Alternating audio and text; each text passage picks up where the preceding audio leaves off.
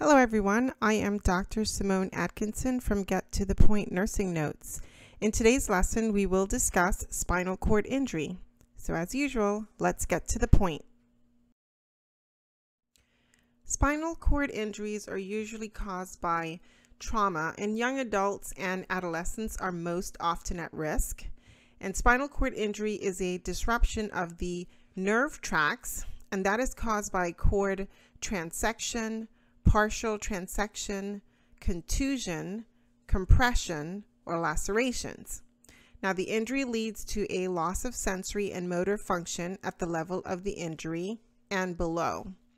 An excessive force that's applied to the spinal cord and the vertebral column usually result in four different types of injuries. First is hyperflexion that compresses the vertebral bodies and disrupts ligaments and discs. Then there is hyperextension that disrupts ligaments and cause vertebral fractures. Another condition is axial loading, which is an excessive application of a vertical force that may cause compression fractures. And then fourth, excessive rotation tears ligaments and fractures articular surfaces and causes compression fractures.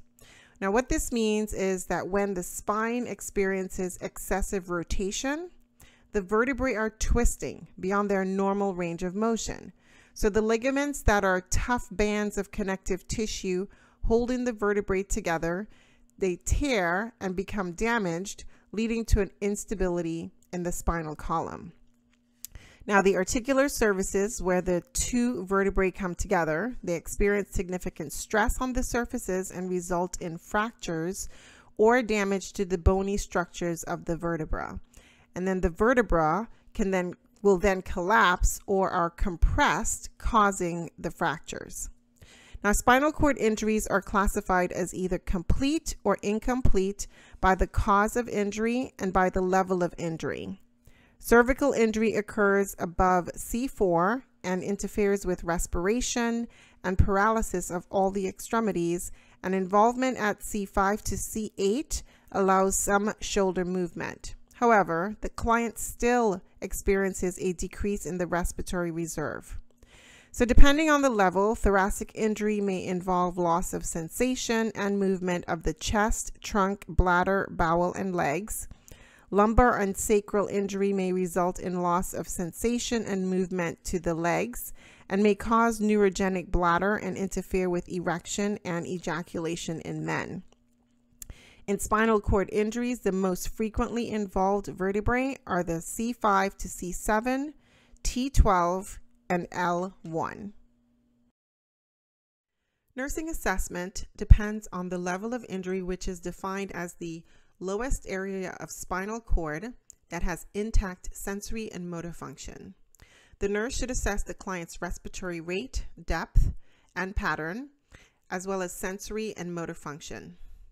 Paraplegia is paralysis of the lower body and occurs when the injury is in the thoracic, spine, or lower. Tetraplegia, formerly known as quadriplegia, is paralysis of the arms, trunk, legs, and pelvic portions of the body. Tetraplegia occurs when the level of injury is in the cervical spine. Now, spinal shock is a temporary loss of reflex function, and the symptoms include bradycardia, hypotension, flaccid paralysis of skeletal muscles, loss of pain, touch, temperature, pressure, visceral and somatic sensations, bowel and bladder dysfunction, and loss of ability to perspire. Spinal shock is considered to be resolved once the spinal reflexes return. The nurse must assess for autonomic hyperreflexia in patients with spinal cord injury.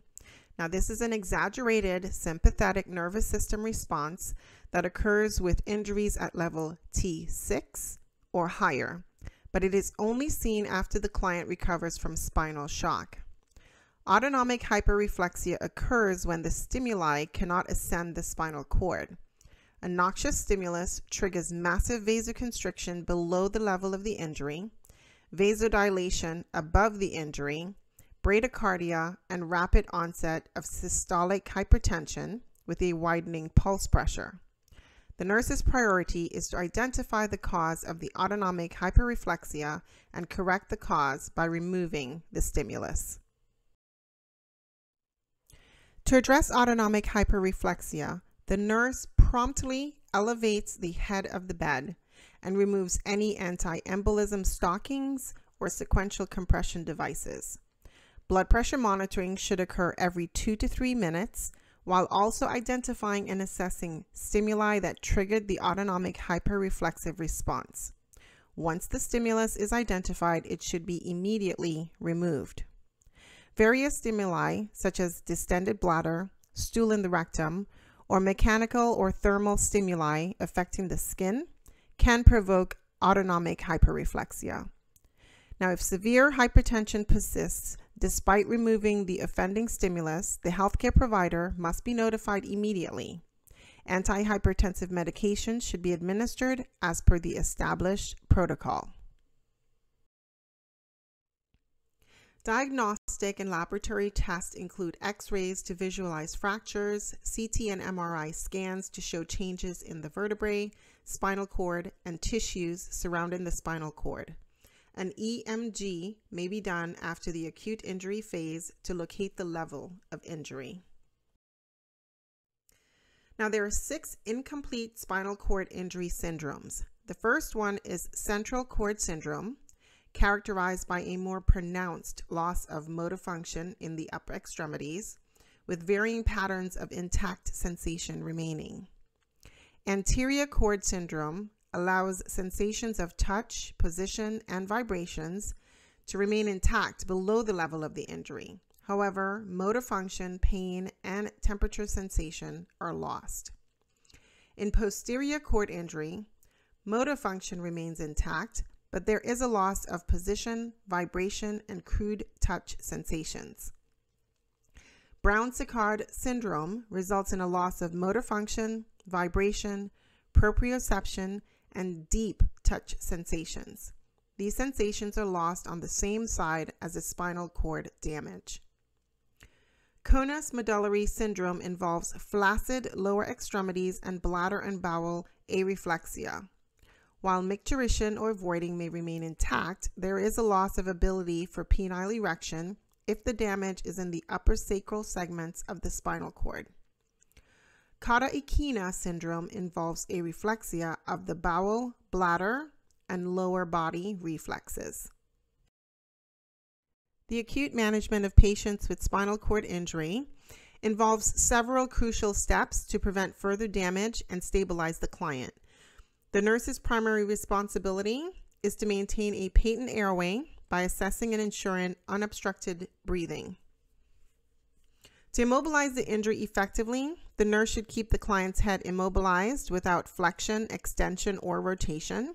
And if necessary, manual traction on the head can be applied by placing hands on the head near the ears. When moving the client, a log roll technique should be used. Avoid any twisting or turning of the spine. Additionally, the head of the bed should be kept flat to maintain spinal extension. Stabilization of the injury may require the use of specific devices such as Gardner-Wells tongs, halo traction, or surgical intervention. It just depends on the indication. Now, complications related to respiratory distress should be promptly addressed, ranging from oxygen therapy to intubation and mechanical ventilation as needed. For a tonic bladder, inserting of an indwelling urinary catheter can be performed. And to prevent a paralytic ileus, an appropriate bowel regimen should be initiated. Now, if cardiovascular instability arises, vasoactive drugs may be administered. The nurse's priority remains closely monitoring the patient's vital capacity and respiratory effectiveness, particularly in cases of high cervical injuries such as C4 or above, or lower injuries where edema might ascend the cord and potentially inhibit respirations, which would necessitate mechanical ventilation. And additionally, ascending edema should be watched for and it can also lead to respiratory compromise. So to assist a client with quad coughing, the nurse should apply pressure in and up at the xiphoid process during coughing to aid in clearing the airways. Now, a bowel and bladder program can be instituted to establish a regular schedule for bowel elimination, which will prevent that paralytic ileus and urinary retention. Lastly, as we mentioned, autonomic hyperreflexia must be treated immediately to prevent any serious complications.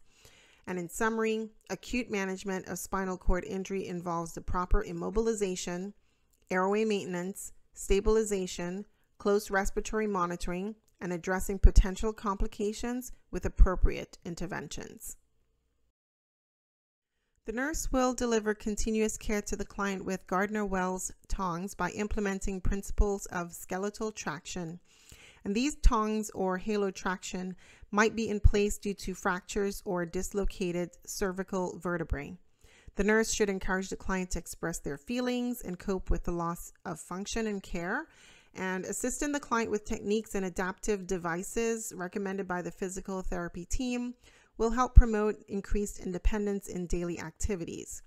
Items such as slide boards and wheelchairs, utensils with built up handles, or other tools suggested by the rehabilitation team may be used by the clients.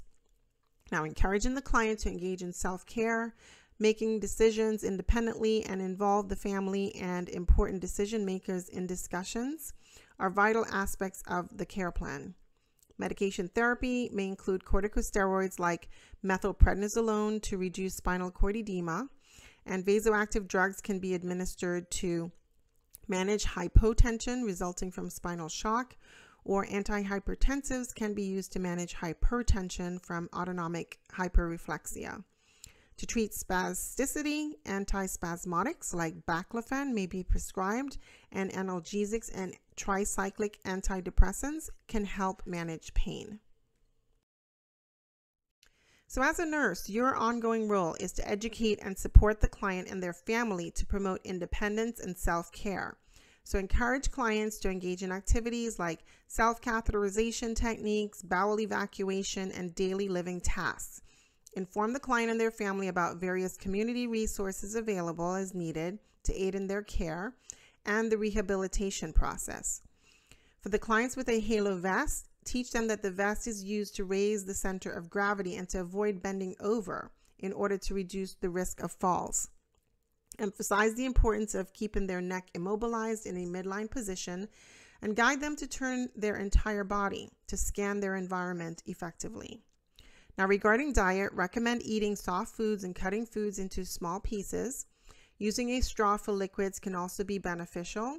And remind clients not to drive until they are cleared to do so by their physician. All right, so now you are armed and better prepared to care for clients with spinal cord injuries. If you found this helpful, please show your support by giving the video a thumbs up and subscribing to the channel and sharing it with others. Stay tuned for the next video.